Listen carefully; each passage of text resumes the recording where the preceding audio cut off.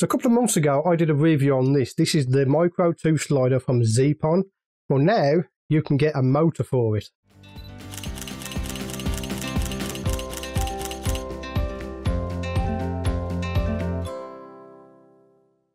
Hello, my name is Stewart Wood and welcome to this video. In this video, we're going to be taking a look at the motor add-on for the Micro 2 slider from Zeapon. Now, I want to thank Zeapon for sending me the motor to go along with my slider that I have from them. They have sent it me free of charge, however this will be an unbiased review. Now if you want to know all about the slider then check out this video here which talks about all about the slider. In this video I'm talking about the motor add-on for the slider. This motor it comes in at around £200. You can buy the motor with the slider together for no more than £400. But this is a great little feature for this slider. I'm going to tell you why in a few minutes. It is going to take a little bit of fiddling around to get it installed. You have to take off half the belt, a couple of screws, but once you've done that, the motor slips on and then you're good to go. Now I've had this for several months as uh, Zeapon will contest because they keep emailing me asking when the video is going to be done but I needed to really give this a thorough test for me to give you a review of this. And the reason why I was so interested in the motor is because the slider before as you know, I like the slider. I've showed you some footage from it. But if I wanted to get a slider movement like this one out in the field in, say, a macro adventure, I would have to have somebody with me to move the slider. Well, now you don't have to because now I have a motor and it can do it on its own, which means I can film sequences on my own if I wish to. That is a great thing for me. So with the motor, they also supplied a new bag and the whole slider fits into this bag. It's got um, some carrying handles and a clip on here. And I have used this to clip it onto the uh, outside of my uh, bag. Because unfortunately, when you add the motor to it, it does add more length to it. It adds a bit of weight and currently it won't fit into my bag now. But I'd rather have the motor on it than use it without the motor. So much more convenient. So there are instructions with it on how to fit it. However, the like IKEA instructions are quite hard to understand. So I had to resort to using a YouTube video. But once I watched the video, it was very easy to install the motor onto this slider. With a quick firmware update, I was able to update the firmware to the latest one, which enabled me to use a slider without using the app, which is another fantastic option I'm going to talk about in a minute. So on the outside, we have a couple of buttons. We have a power button. We can press the once to cycle through the three different speeds that this slider offers. We have a forward, backward button or left and right, depending on your orientation. We have a 2.5mm camera cable release port and a USB-C port for powering it. So you can power the slider from a USB battery bank if you wish to. Now I'm not going to talk about time lapses in this video because I don't do very many time lapses I will leave that for the better experts on YouTube to talk about time lapses with this slider. But what I have been using it for is for sliding shots in my macro adventure that I did uh, several months back. We've only managed to do one this year because of the pandemic. But hey, that's how things are this year. But I have been using it a lot to get some macro sliding shots, particularly with the Laowa 24mm probe lens. You put the probe lens onto here, onto a tripod, and you get some really nice sliding shots. So this motorized Micro 2 slider has a carrying capacity of 4.5 kilograms. Now I've managed to get my EOS R on there with the lens and my field monitor and it's had no problems at all. I've had it the same setup with the probe lens, no problems at all with this motor. Pulls it quite happily. You can go vertical with it, no worries, or horizontal. The motor is very, very quiet. I would say you would only hear it in the top end speed. This is on slower speed. I'm about six inches away from my microphone. Medium speed. And full speed. That is absolutely fantastic, but it doesn't matter even if it was loud because most of the time I'm using it as B-roll and you're not recording the audio anyway. And even if you did, you're going to be recording it off camera like I am now, so the noise really isn't a problem to be honest with you. Let me quickly interrupt this video to ask you, have you checked out my macro presets? I created 16 beautiful presets for macro photography that are perfect for a starting point in editing your photos. Click on the link below to check them out or go to stewartwood.com to purchase. And now back to the video. So with the app, you're able to set up waypoints with this slider. So we go into the app Once you're connected to the app, we can use the app to move the slider left and right, depending on your orientation. So we can do it wirelessly if we wish to. So what we want to do now, I want to move the slider to its first position, click on the one, and see it highlighted red. That means that it has set that as the starting waypoint. We're going to move it all the way over to here, click on two, move it back again, click three, move it all the way over to the right, then we can click 4. You can see the time in seconds of how long it will take for it to do that sequence and we can increase and decrease the time it takes. Once we have set that, all we gotta do is click play.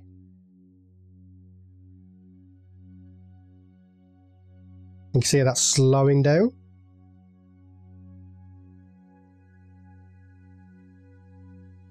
Now it's going to speed up.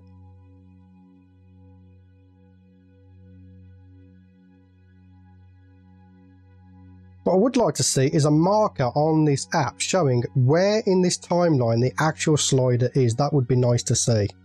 However, that's not the best thing that this slider does. After I received it, there was a firmware update that allowed you to do an A to B repeat point without using your mobile phone, and that was my favourite way of operating this slider. If we can set the slider to our start point, we double click the power button.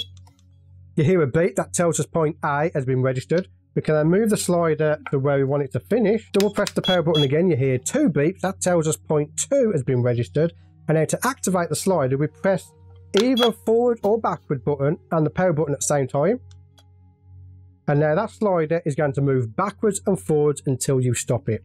To stop it, we press either directional button and the power button again to stop it. Now to clear out those waypoints, all you got to do is hold down both directional buttons at the same time. You hear a long beep. That is now cleared and ready to go for your next one. And that is the way I have been using this slider, is moving it back and forward. You can adjust the speed while it's moving backwards and forwards. You don't have to redo your waypoint, so you can adjust the speed. 9% of the time, I've been using the slider just like that without the actual app. If you want to get into more advanced movements, like you need more than two waypoints, or you want the speed to adjust in between waypoints, then is when you use the app. The app is available for Android and iOS. I have had some issues connecting to the slider, but I'm 98% sure it's actually my crappy phone. So with this slider, I'm able to pull off shots like this. If I want to add a nice little cinematic slider shot to my B-roll in Macro Adventures, it's brilliant.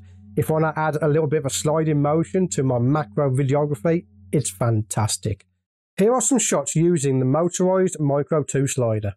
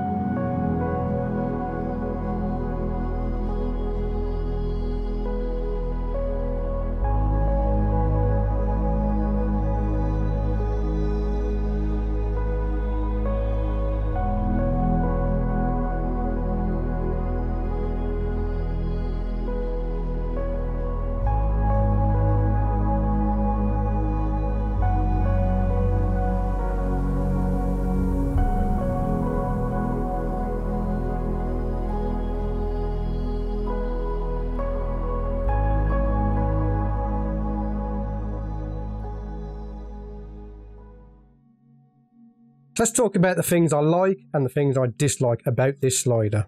I like that the slider is still compact even though you have the motor on it. It is still compact enough to carry it about. I love the fact that you don't need the phone to operate this slider. That for me is a big plus. I'm using a small Sony battery for this and it lasts hours. I've had it going all day long on one battery, no problems at all.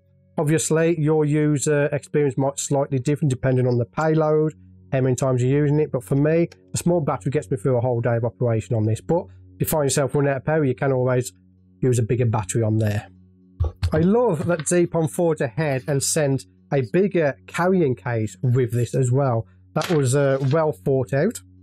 I love the range of motions you get off the app. So if you want to get a unique sliding effect, you can do that using the app. And the biggest thing I loved about this is the fact you don't need to buy a new slider to have a motorized one. That, in my eyes, is fantastic. That's Zeapon looking after their customer base. Instead of forcing you to buy a new slider with the motor attached, you can just upgrade your current slider. It's very quiet with free speed, that's fantastic. Again, I mostly don't use the audio for my B-roll, but if you were to use it, then you won't be picking up the noise off this slider unless potentially using the higher speed, but even then, you can easily clean it up in Audition. So there's only a few things I don't like about this slider. One thing I don't like is if you run out of power your battery or you haven't got a power bank, you cannot move this slider. So you can't manually move it if you do run out of power. So you have to make sure you've always got power. That's one thing I don't really like, but from my understanding, that is a trade-off for the payload this can use. So being able to use uh, a payload of 4.5 kilograms, you have to have the fixed sliding. So it's not a deal breaker for me. It might be for you, but if it's not, I shouldn't really worry about it. One thing I'm not keen on is the weight that it has added. It's added uh, a lot of weight. It's also slightly longer. Now, although this is still small, which is fantastic, and I've talked about that before, it doesn't quite fit in my bag anymore. So the battery does add more weight to the slider, and the total weight of the slider is now 1.8 kilograms. Doesn't sound much, but when you've got a bag with two cameras, several lenses, flashes, it can add up. But along with this, I can carry it on the outside of my bag, which is a fantastic option. But just bear in mind that adding this battery on is going to increase the weight of this slider. So overall, I am loving this slider. If you're in the market for a small, versatile, motorized slider, I would highly recommend this slider. As you're seeing from the footage, even using macro lenses, there's no vibration from this. If you use a top end speed, you might get a little bit of vibration, but generally, I'm using the lower end speeds because we are zoomed in to two times magnification sometimes and we can slide it back and forward with no vibration. Absolutely fantastic. When I'm out and about doing my photo works or on outside filming, most of the time this slider is coming with me unless of course I run out of bag space or it's raining and I can't carry it on the outside of my bag. But I absolutely love this slider. I've been using it for my product shots, I've been using it for my outdoor adventures, I've been using it with the Laowa 24mm probe lens to get some very unique footage. I absolutely love this slider and whenever possible I'm always taking the slider with me. In fact I'm taking the slider with me more than I do my Ronin S now. So if you are interested in this slider, check in the link below. There are some links to go and look at this slider and purchase it if you wish to. Again, I would like to thank Zeapon for sending this over to me. I much appreciated to them. I'm absolutely loving this slider. I really, really do like it. I would recommend it to anyone who needs a motorized slider for their video because this is a fantastic bit of kit. So what do you think of this slider? Are you looking to get one? Are you interested or in the market for a slider? Let me know in the comments below. I will leave this review here. Again, my name is Stewart Wood and I will see you on the next video. So a couple of months ago, I did a review on the Micro 2 slider from Zeapon. Well, now you can get a... It's not a battery. so we have the motor box here. Comes in this little box. So Zeapon offer... So Zeapon have the option... Little more than... Uh, well, you won't get no... Or if you already had the slider like I did, you can buy just the added or if you have, and I have actually clipped this onto the X, particularly with the Laowa 24mm. I'll spat again. However, if you use the app, you can get a customized type of. Um, however, you get. However, that's not the best thing that this slider does. Now, don't get. I spat again. However, that's not the best thing that this slider does. However, best if I hold it, isn't it? However, that's not the best thing that this. I'm getting distracted. However, that's. Here are some shots used. Here.